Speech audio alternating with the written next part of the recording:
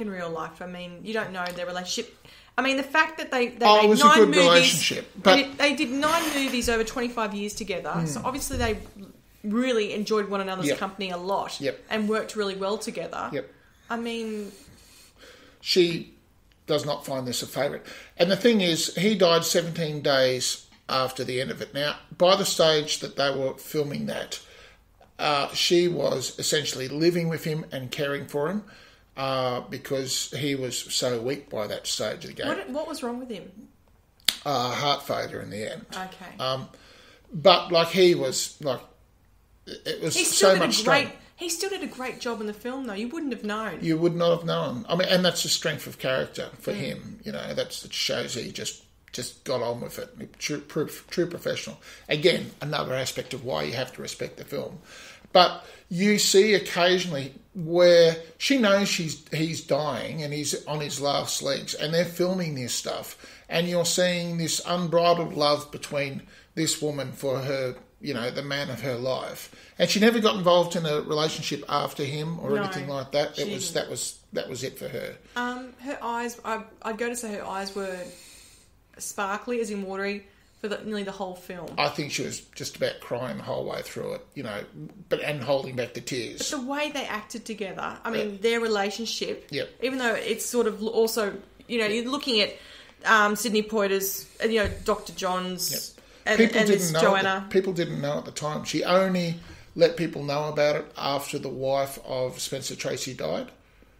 Hmm. So you know that was old school. They don't come out and put it on Twitter like 24 hours afterwards or anything like that nowadays. You know, so she didn't hurt the wife uh, because she knew that Spencer was caught in uh, a relationship where he was he still loved his wife, but I think he loved her more. You know what I mean? Like he was. I mean, sometimes you can love someone, but it's because it's not. Uh, as in, you know, your relationship changes. Mm. I mean, he had children with her and everything, so they had a lot of things in common. But Yep. if the love might have changed, and therefore it might have blossomed with um, Katharine Hepburn. And they obviously really enjoyed each other's company. They were I- working a lot together and exclusively. Mm. So No, I take that. I, I just look. I love the. I just love those little glances the whole way through it, and they were there the whole way through it. And when you know to look for them, you know, and you just there's occasionally you just see her looking at him, and you can just see that her heart's breaking while she's doing this, and she's Oh, doing it professionally, and she's acting. You know, yeah, it's oh, just, it was it was it was done Yeah. really well. I, That's why I sob like a little girl. Um, anyway, so putting all that to one side, that's just an interesting little sideline of it. But having known that, it just makes this movie and you might watch special. the film differently Yes. if you know this information. Yes, and that's why I put it up there for people to Mm. to, to digest. I, I tried not to think about that. I wanted to look at it No, solely you for what wouldn't. it was. You wouldn't have thought about it, and you didn't.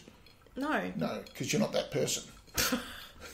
I like to watch it for what it is rather than the background stuff if I can help it. Oh God! All right. Um, there's only a couple of little things that bothered me. yep. Um, There's one big thing that bothered me in the film, you do yours first. okay, mine were just looking at the relationships, like of Dr. Prentice and his father. Mm-hmm. I found there was no resolution there. I know he wasn't a main character, his father, Yep. but I found I would have liked enclosure, uh, like liked closure there. Sorry, enclosure, liked closure there, and I found Tilly. Yep. I wanted closure there too. I mean, yeah, they're accepting him, but I mean, then surely they have to start taking a broader look at everything. Mm. So, I mean, I mean that could always be future, but you know, it always It was a hard little night Bit. for everybody. Yeah, I know. I'm just Yeah. it bugged me a little bit. Yeah. Um, Um, I loved um, Sidney. Port- First of all, oh, Sidney Poitier, no, Portier. is it? Is that how you pronounce it? My apologies. Sidney Poitier. Sorry. Yeah, yeah. Well, that's how he pronounced it. So, Okay. Well, yeah, then he'd be right. He knows his own name. he'd be on the money, I reckon. Yeah. um, look, first of all, the man is a legend. Oh, he's awesome. He's just a fucking legend. You know, that's he's just as good as it gets. And there are so few people that I can think that bring this massive dignity and gravitas to a role that he can. Maybe Laurence Olivier. maybe, Uh, maybe Marlon Brando in his later years, perhaps. Uh, but there's very few that have that force of character. And he's so young when he's doing that. And that's you know, and that's he should have had a far bigger career. He should have dominated Hollywood, but of course he's black, so. I kept having to remind myself that because I'm thinking, oh, Yeah, oh, he's he's, a good-looking guy. He can act. He's got a great voice and great presence on. just you know, you, it's you- just- you can see that the man is just a magnificent human being. Mm. You know, and I imagine he's had his hard run through life as as much as any other coloured person. That you know, Mm. well, you just don't know what they what they've come up against, what sort of racism or prejudice that they've had to deal with. So. And to have that kind of dignity, I would imagine he's he's had a fair chop of it. Mm. Um, but yeah, I mean, clap, clap, clap, clap for him no, he did a great job. his character's mother. I mean, I forgot how good she was. Well, at first you don't She had even. me.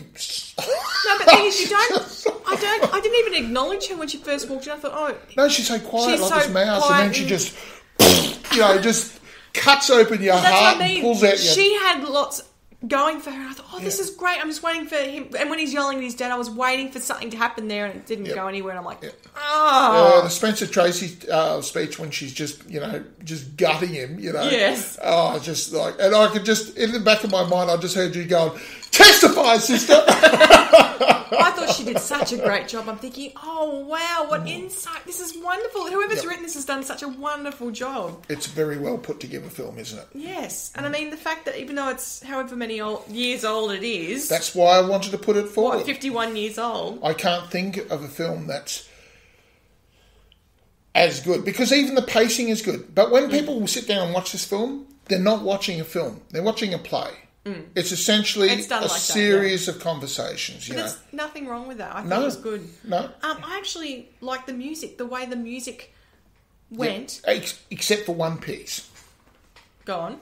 Do we remember the two idiots go-go dancing from the doorway? I was screaming at the TV. I'm going, no, get this shit off. But they were trying to make it uh, applicable to the people that, who was watching it at the time. And at that time, it was 1967 go-go dancers, you know, and that's that's the culture that they were appealing to. And oh my god, that didn't age well at all. No, I just I found because they were sort of playing the one piece of music, "The Glory of Love," mm. and at first it's all happiness and love and gooey, Yep. And then it actually takes on minor chords and starts being very menacing, and you're Yep. worried for the characters. And I thought the way they kept the same song going, but they would change it slightly. Oh, is there slight happiness now? No, it's going down, and I like the way You're it does it. really starting to. No, I like when they do that because Yeah. Mm. it's help directing your mood, and I love that about films. I like being able to sit there and have someone drag me through it all, Yep, and not yep. have to worry about it. You don't have to do the thinking. I love that. Yeah. So But it was only one, basically one piece of music through the whole so- uh, through the whole show, yep. movie. Sorry, Vari- and um, they just kept on the changing it, and Yep. I love that. Yep. So yeah, they did a superb job on it, except for the go-go dancing part of it, which you know whoever did that, that was clearly done for money. Mm.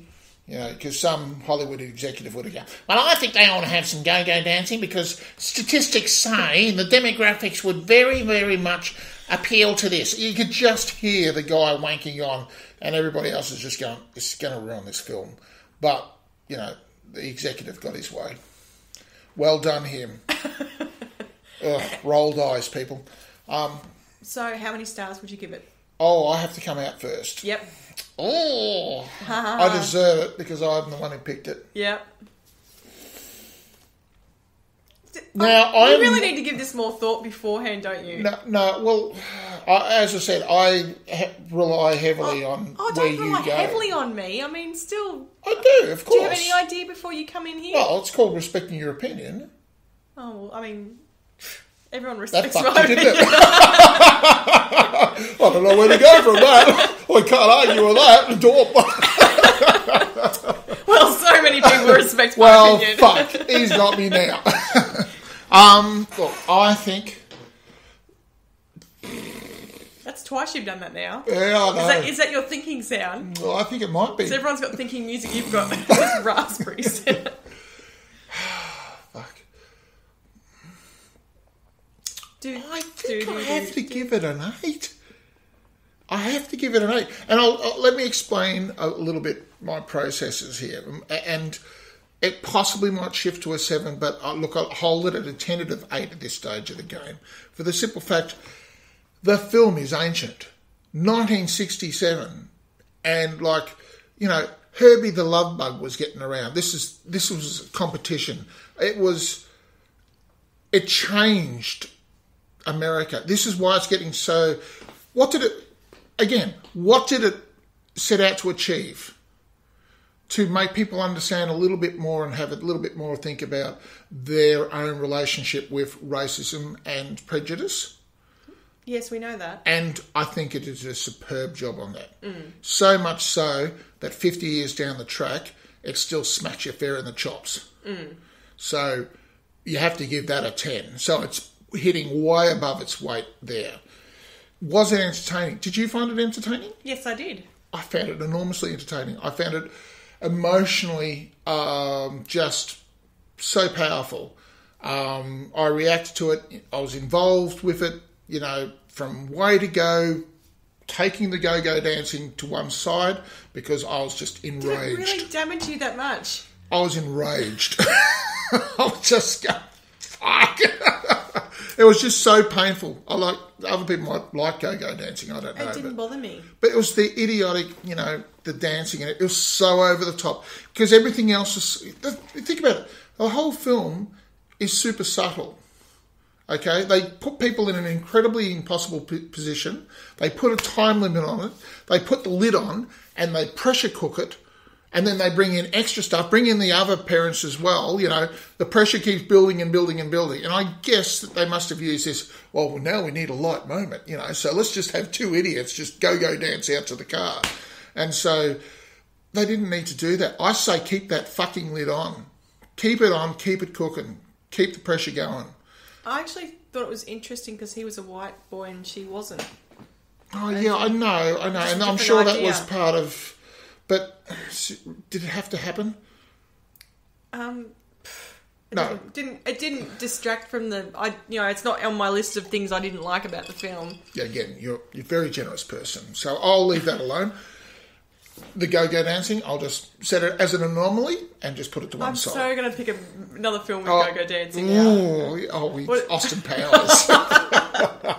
yeah, baby, yeah. So you're sticking with eight. I think so. I I think so. Yes, I I think I'll. Def- I'll this is the hill I want to die on. I'm going to defend this spot. Um, do you want to hear something funny? What? I give it an eight too. Yay! That's the first, ladies and gentlemen. Well done. Handshake. there you go. Boom, boom. um, no, I thought it was really done, it was done well. Yep.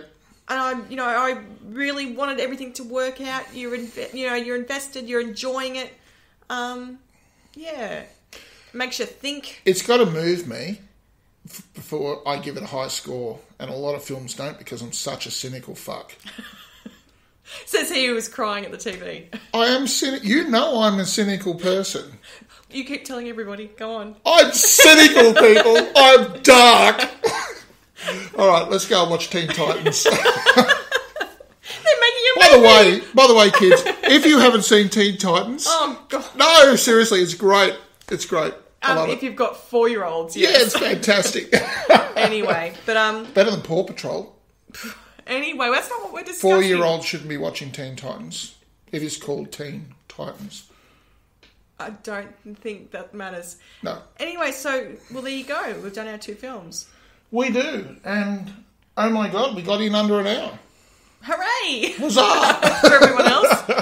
Um, so what have we got next? next week is our obscure and your one of your favourites. Now, I'll be honest, I'll put a disclaimer in here. I picked this one not so much because it's one of my favourite favourites, but I wanted to share it with people and have a bit of a talk about it um, because I think it's my favourite for this year. Can I say that? You can say that. It's the strongest film I've seen this year. okay, so our obscure film is The Four Feathers. Yes. Neither of us know anything about No, this we one at all. haven't we haven't seen it. It's got Heath Ledger in it, and I looked at it and went, huh? and you looked at it and you went, huh? Oh, it had Heath Ledger. and they are wearing pith helmets. So That ticks boxes for you, doesn't it? Well, it's historical, and off to Africa we go.